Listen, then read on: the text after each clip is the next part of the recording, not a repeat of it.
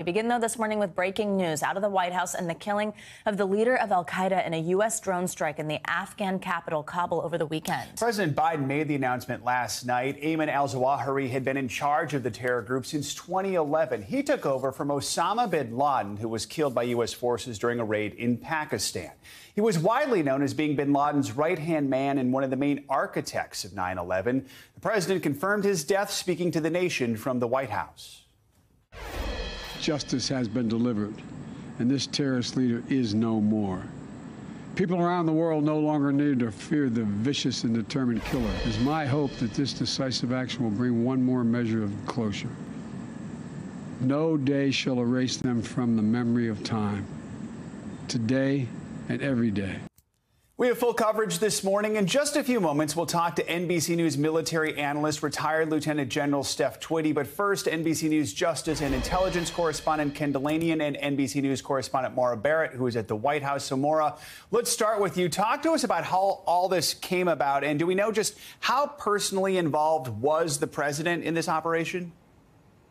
This was the result of a months long operation by the CIA, Joe. And this all happened over the weekend while, if you might remember, the president had just tested positive again in his rebound positivity and has been isolating at the White House since Saturday morning. The attack happened uh, just before 10 p.m. Eastern Saturday night, so early morning Sunday hours in Afghanistan. A senior official uh, says that the U.S. planned uh, used an unmanned drone and Hellfire missiles to target uh, the third floor balcony of a residential residential apartment building uh, in Kabul. And so this was something that, like I said, was a, a months long operation, but the president himself made that personal decision uh, just about a week ago. He explained some of his calculus in his announcement last night.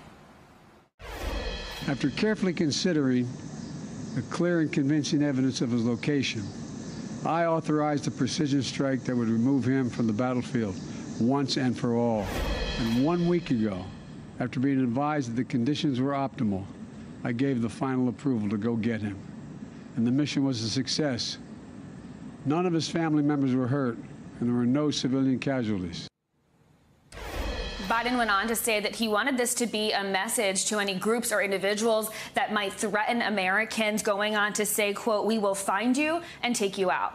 Joe. So, Ken, tell us a little more about El Zawahiri. We know he was a key plotter on 9 11. What all was he responsible for in 21 years after 9 11? What's the significance of his death? Joe, he was one of the intellectual founders of Al Qaeda, and his roots in jihad go back even before the 9 11 attacks. He was responsible, for example, for a brutal attack on the ruins in Luxor, Egypt, that killed children. Uh, and he helped Osama bin Laden found Al Qaeda and mastermind the 9 11 attacks. He was more of the brains behind the operation while uh, bin Laden was the inspirational leader. And then when bin Laden was killed in 2011, he took over the organization and, by all accounts, was not a terribly effective leader, perhaps was not suited for the role of leading uh, such a sprawling organization. And you know, while he was uh, the head of it, uh, ISIS splintered off, and Al- the Al Nusra Front in Syria kind of distanced itself from Al Qaeda. And Al Qaeda, you know, was the subject of withering pressure from the United States. And uh, essentially disappeared. So that's what's so remarkable about this is when I talked to my intelligence sources, this was the hardest of hard targets. He was literally gone from the radar, even more deeply than Osama bin Laden. So the fact that his family suddenly resurfaced uh, in the capital of Afghanistan was a major breakthrough. And this was incredible detective work by the CIA, going back not just months, but 21 years. Teams of people worked for years on this patiently gathering intelligence that culminated in that precise strike over the weekend, Joe. So, Maura, we know the Taliban's been in charge of Afghanistan since the botched U.S. troop withdrawal last year. Secretary of State Antony Blinken has criticized the group for sheltering the leader of Al Qaeda. What else is Secretary Blinken saying? Well, we're seeing a lot of frustration from the Secretary of State because we all remember that somewhat chaotic exit from Afghanistan last year and a lot of uncertainty around what uh, that would become of the Taliban in the area, right? And so Secretary Blinken uh, releasing a statement overnight criticizing uh, the Taliban, saying by hosting and sheltering the leader of Al Qaeda in Kabul, the Taliban grossly violated the Doha Agreement and repeated assurances to the world that they would not allow, allow Afghan territory to be used by terrorists terrorists to threaten the security of other countries. They also betrayed the Afghan people and their own stated desire for recognition from and normalization with the international community. Now, a senior administration official said that Taliban Haqqani network leaders did know of uh, his presence there in Kabul, and so this just proves uh, to be more problematic for relations with the Taliban and the U.S. going forward, Joe. And, you know, Ken, the Biden administration obviously is touting this as a major victory. Help us understand how much influence did al Zawahiri and al Qaeda really have in recent times, especially with the emergence of other organizations like ISIS? Well, U.S. officials, intelligence officials, have been saying for years now that Al Qaeda lacked, no longer had the capacity to mount a complex attack on the United States, nor does ISIS for that matter. The international terrorism has really diminished as a threat in the face of other challenges. But this is significant because um, many people believe this sort of proves the case that the U.S. can respond, quote unquote, over the horizon in Afghanistan. This was a strike conducted with according to U.S. officials, no Americans on the ground. So all done with satellites and signals intelligence and human sources. It's, it's rather remarkable that they did it. Now, as Maura was pointing out, it's also, it also underscores, though, that Al Qaeda leaders came back into Afghanistan after the United States pulled out. So many Republicans today are criticizing that and saying it was a huge mistake to get out of there. But in terms of how uh, Biden is framing it, uh, it's a victory because they were able to conduct this strike from a distance, and he says they'll continue to do that as they need to in Afghanistan. All right, Maura and Ken, thank you for kicking us off this hour. We appreciate it. Let's now bring in retired Lieutenant General Steph Twitty. Thank you so much for joining us this morning. First off, just with that backdrop, who he was to this organization, and also with those details Ken gave about how difficult it was to track him down, I'm wondering your reaction to this announcement. Well, great to be on the show. First of all, this is an extraordinary victory by the members of our counterintelligence community. If you go back uh, to 1998, uh, Al Zawahiri was responsible for the bombings of the U.S. Embassy in Tanzania, the U.S. Embassy in Uganda. He was responsible and the mastermind behind the bombing of the USS Cole. And of course, he was one of the masterminds of the bombing of uh, 9 11. And so, very extraordinary. We've been trying to capture him or kill him for over 20 years. So, this is a great day for our country. In recent years, how dangerous has he, have Al Qaeda been to the West, especially when you compare it with other groups like ISIS? Yes, well, make no mistake about it. Yes, they have been fractured, but they're still dangerous. They still have about anywhere between 30,000 or 50,000 members. They're all over the globe uh, very much so in Africa and the Arabian Peninsula. And so they still have the ability to reach out and touch and do harm across U.S. interests and across our allies. And oh, oh by the way, what we must uh, watch out for in the coming days is they, they will probably install a new leader here in the next coming days. Mm. And you can look for them to try and retaliate for this attack. Now, this drone strike is the first known U.S. intervention in Afghanistan since that chaotic troop withdrawal last year. Now, we know the Taliban, of course, has been in charge since then. But as we were just discussing, the U.S. has now accused them of, of breaking an agreement to not allow any extremist groups to operate there. Are you concerned that groups like Al Qaeda, any other extremist groups, could flourish again there? And is there anything we can do to stop that? Well, absolutely, I'm concerned. Uh, you know, the Taliban is complicit if uh, he was hiding amongst their midst there in downtown Kabul, then we know that they're mm. complicit. And I am concerned that there will be other terrorist groups that may continue to brew within Afghanistan. This over horizon capability that the U.S. put together, we have to stand that, behind that, make sure that we have the good intelligence that we need, the SIGINT, the HUMINT, all the intelligence that we need to bring to bear given that we don't have U.S. troops on the ground, we have to rely on this capability now. Lieutenant General Twitty, we always appreciate your time and your expertise. Thanks for joining us this morning. Thank you. Now to the latest on the floods devastating communities in eastern Kentucky and West Virginia. This morning, flood alerts still remain in effect in both states as the rain continues to fall. Some areas are already seeing two inches of rain just this morning. Kentucky Governor Andy Beshear says at least 37 people have been killed in the floods. While hundreds more are still unaccounted for. President Biden has approved a major disaster declaration for Kentucky, but the road to recovery could be long. Entire towns are still submerged, others completely cut off and more rain is still on the way. We have team coverage this morning. We're going to check in with NBC News meteorologist Michelle Grossman in just a moment. But we begin on the ground with NBC News correspondent George Solis, who joins us now from Jackson, Kentucky. George, so the real concern this morning, they got more rain overnight. More is expected today. That raises the threat of even more flooding. What's the situation like there right now? Yeah, good morning, Joe. There is some cautious optimism that the worst is over but only just. You can imagine many are still heartbroken over the destruction they are seeing, over the loss of life. Unfortunately, it's a number that continues to increase. As you mentioned, 37 lives lost, and unfortunately, that number is expected to go higher. There's also hundreds that are still unaccounted for, and even hundreds more that are displaced. As you can see the river behind me right now, there is a swift moving current. We've been watching debris that has been flowing from homes, people's property. They've lost everything.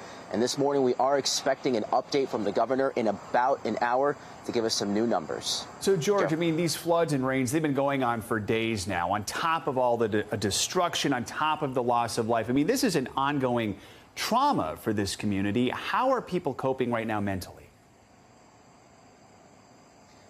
Yeah, Joe, you can imagine it is a lot to ask of people right now to process what they are seeing, what they have been going through. Many people in many instances have lost everything. Some people at this point are still waiting to be rescued. The National Guard on the scene doing everything they can to get those people out of harm's way before any of those waters move in, even as waters start to recede. The heat, another concern as the temperatures start to rise here. Now, I did speak with a grandmother who walked me through her harrowing experience surviving this flood. It is truly heartbreaking. Take a listen. It came pouring into the doors, and we had like five minutes to get out, and it flooded over five feet and took everything we had. And I've been there eight years. So sorry. So you lost everything?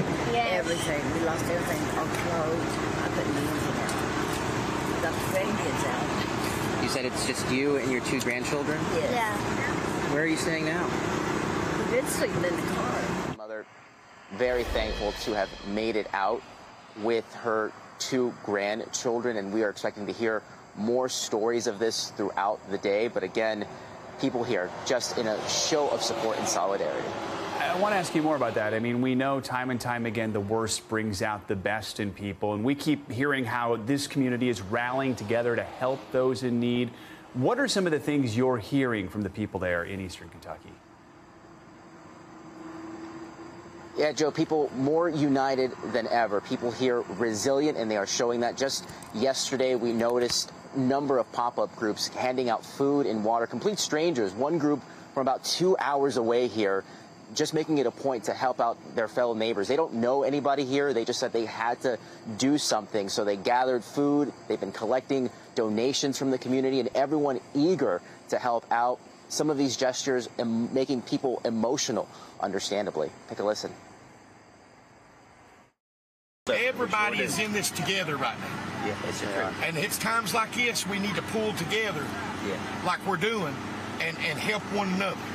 Because that's all we have is to lean on one another right now. Are you proud of your community, proud of the people of Kentucky? I love Eastern Kentucky. They're, they're the best people. I'm sorry. We're going to help each other. We're going to be strong. Eastern Kentucky people are strong. Um, I wouldn't want to be anywhere else. Again, it's just so heartbreaking to hear what these people have been through today. As the sun comes up, more cleanup expected to begin, more search efforts underway. Something the governor mentioned that I want to note today.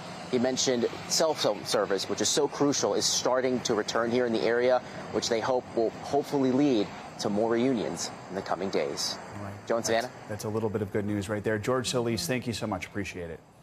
For more now, we're joined by John May. He's the chief of the Wolfe County Search and Rescue Team. John, thank you so much for joining us this morning and just incredible work you are doing. We so appreciate your time. I know you're working hard. I mean, first, I just want to ask what this experience has been like for you. This is, of course, one of the most important pieces here search and rescue, the search for human life. What have you been seeing firsthand?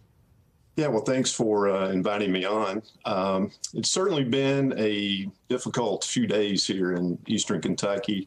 Uh, we received the phone call uh, around 4:30 a.m. on uh, Thursday morning uh, that a large flooding event had occurred in Breathitt County. So we dispatched our team, and you know we didn't have much damage here, so I really wasn't sure how bad it was going to be, but you know, once we arrived on scene, we met up with uh, some of the Breathitt County uh, search and rescue team members, and the river was, you know, unbelievable. I mean, it was it was rolling, large debris coming down the river, uh, just really really scary. And uh, we knew we were going to be in, you know, for a long day, well, long several days and weeks, honestly. Mm. I have to ask you about this dramatic rescue video posted by your team. A lot of people have probably seen this now. I know you were involved with this effort. It shows an 83 year old woman who's being plucked up from the roof of a home by a helicopter. I understand you were one of the rescuers who got that woman to safety by entering her home and getting her to the roof.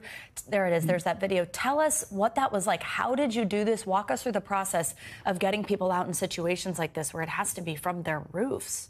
Sure, absolutely. This was about the third or fourth rescue operation that we did that morning. So it kind of gives you an idea about how deep the water was around these homes. Uh, in this particular case, when the call came in, they advised that there was five residents stranded in the attic.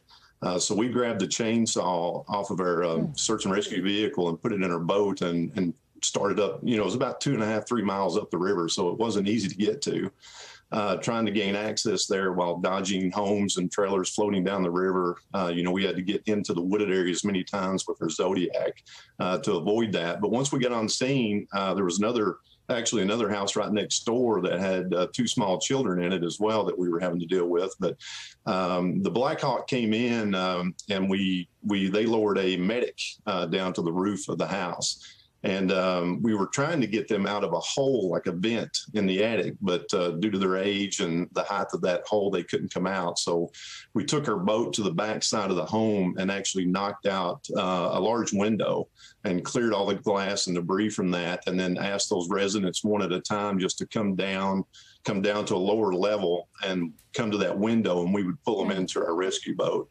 uh, so we did that multiple times, uh, and then we would drive them basically up the side of the house, and then let them climb up the roof to where you can see the uh, the crewmen from the uh, Kentucky National Guard sitting there. And it was a slick roof. I mean, we were nervous about people climbing up a tin roof, you know, and they were barefoot. So uh, we had a safety line set up, but it was it was a little unnerving. Wow. What is that moment like when you have actually been able to make it in and make contact with somebody who has been stranded there? What's it like when you're able to get them out? yeah, just thankful we could get to them. Um, you know, there was, I, they were relatively that was a that was a large home, a brick home. Um, you know, so I felt pretty good about their safety about that house not coming off the foundation mm-hmm. at that particular time. But you know, some of the other homes that we got to uh, just before this one, uh, there was a mobile home that was completely flooded over. Uh, and the two residents were, you can see a guy wire coming off that uh, telephone pole right there. They were actually hanging on to a guy wire just like that, uh, up to their neck in water. Um, you know, we just grabbed them and pulled them into the boat. Um, you know, the lady was hypothermic, uh, shivering, very cold. the gentleman had a fairly large laceration on his arm from floating debris and um, you just kind of do it and then you repeat it. You know you take those people to shelter and then you go back up the river fight your way back up and try to find the next family. And um, you know the national guard was hovering overhead. We can't thank them enough. I mean they were kind of helping us point out where we needed to go. And then if we found someone like this you know they they came in and took them out which was safer than us taking them back down the river you know because it was it was pretty dicey up and down that river for certain John May, incredible work you are doing. It sounds like such a coordinated effort that you guys are all working through here to save these families. That video is just stunning and, and just imagining you living it. Thank you so much for joining us. We so appreciate your yeah. time this morning. No problem. Good luck Thanks with your efforts. Absolutely. Have a good day. You too. Incredible stories just playing out over and over again. And the threat of flooding still continues for parts of Kentucky this morning with strong storms still sweeping through the area. Yeah, for more on that and what you can expect in your forecast, we're going to check in, of course, with meteorologist Michelle Grossman. Hey, Michelle, good morning. Good morning. So good to see you guys. And yeah, we're watching that flood risk continuing. We're looking at really heavy downpours. I've been watching them since 1 a.m. and they sort of pop up. They have really uh, heavy rain with them. So let's take a look at what's happening right now. We have a flood watch that's in uh, parts of eastern Kentucky, also southern Ohio, into West Virginia, also portions of western Virginia. Now, the good news is right now we're looking dry in portions of eastern Kentucky. That's what we expect for today. We may see another round of rain tonight and then a little break tomorrow before rain returns on Thursday. But we're looking at really heavy rain moving through Illinois into portions of Indiana, also the western part of West Virginia. Look how heavy that rain is. It pops up really fast. We do have flash flood warnings. That's where you're seeing the red boxes, and that's going to come in and out as we go throughout the day.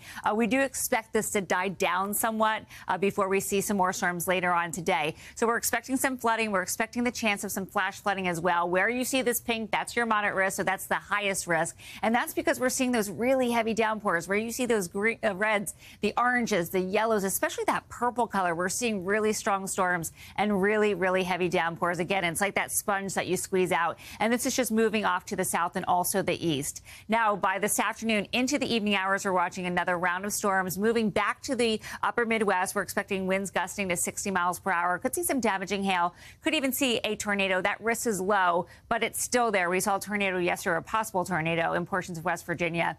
Uh, the National Weather Service will go out and examine that today.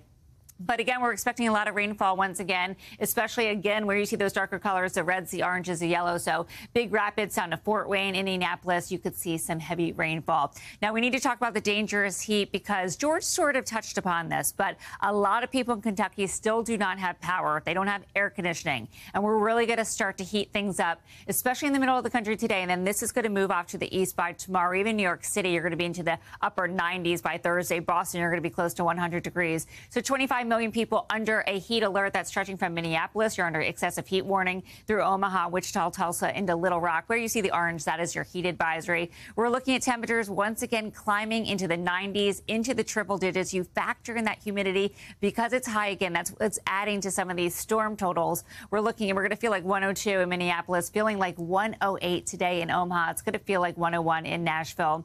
Then as we go throughout tomorrow, notice this moves off a little bit to the east. So now you get into Richmond feeling like 96. And then I'll end it quickly here because I want to show you Thursday. We're going to really heat up in the East Coast, New York City, 96, and Boston. You're going to be near 100 degrees at 99. Mm. You factor in the humidity, it's going to feel worse than that. Back to you guys. It's coming back. All right. Yeah. All right. Lots to keep watching for. Thanks, Michelle. Sure. Shifting to politics now, it's primary day across the country. Voters in several key swing states are set to make their voices heard as November's midterms near. That also means set cue Election music. music, there it is. Today, five states are holding elections with issues like abortion access on the ballot. Plus, could the January 6 hearings have any impact on key primary races? NBC News senior political editor Mark Murray joins us now with a preview. Mark, good morning. So, we've seen candidates in both Arizona and Missouri's GOP Senate primaries competing for endorsements from former President Trump. We've seen throughout this primary season, sometimes that endorsement pays off, sometimes it doesn't. In those two states, how important is that endorsement, do you think? you know, Joe, in those two states, it probably does help more than it hurts. And usually, where it has actually helped are in open races. We did see where Donald Trump's endorsement and intervention ended up backfiring in Georgia when he was trying to run against Republican Governor Brian Kemp. But in this race, that uh, in Arizona governor, for example, to succeed uh, term limited Governor Doug Ducey, it's an open contest, and, and Trump has thrown uh, uh, his endorsement for Kari Lake, a former TV anchor who's very conservative, and then also in Arizona Senate, we've seen him endorse Blake Masters, uh, and in Missouri. But I, but I also, Joe, it's important to sometimes note this Trump endorsement game can be a little bit of a farce. There have been times where Donald Trump has rescinded his endorsement. There have been times where he's endorsed only at the very end when it looks like someone's going to win. And then yesterday, Donald Trump decided to endorse Eric, Eric in general in Missouri, uh, either Eric Greitens or Eric Schmitt, the attorney general from Missouri, kind of hedging his bets there. And so sometimes when we kind of try to talk about the power of Donald Trump's endorsement, it sometimes is kind of a pointless exercise because he's just endorsing just Eric in general. And uh, we have to kind of guess which Eric he's actually referring so, to. So do, so do the Erics. They're guessing too. yeah, that, that, that's a good one. All right, Mark. Um, let's talk about issues here. In Kansas, we're seeing something really important play out. Voters will be the first in the country there to have a say on abortion access at the state level after Roe v. Wade was overturned. What should people know about this constitutional amendment that's set to be decided on in today's election? Yeah, Savannah, in 2019, uh, Kansas's uh, state Supreme Court ruled that there was a right to an abortion uh, in the state. And once Republicans ended up padding their majorities after the 2020 elections, the state put this uh, ballot referendum, a constitutional amendment, on the ballot for August. And it's important to note that they did it in August and not the general election, where some observers actually think this actually helps the side uh, that wants to restrict abortion rights. And on the referendum for this constitutional amendment, either you vote yes, and that is to have a new constitutional amendment that says that there is not a right to abortion in the state uh, constitution, or you end up voting no, that I want to keep it uh, the status quo as is. The no sides are the abortion rights supporters, the yes sides or the abortion rights opponents. Um, and it really has turned into a very big and close battle. And this might be the most important contest we watch all night tonight. And Mark, you know, the fallout from the January 6th hearings is lingering over all this, not to mention really last year's impeachment vote. So in Washington state, you've got two House Republicans. They voted to impeach former President Trump. They're now facing primary challengers. What are you watching for in those races? Yeah, in addition into Washington State, Joe, you also have in uh, in Michigan where another uh, Republican incumbent who ended up voting for Donald Trump's impeachment, Peter Meijer, also receiving a Trump-backed challenge as well. So it's a total of three.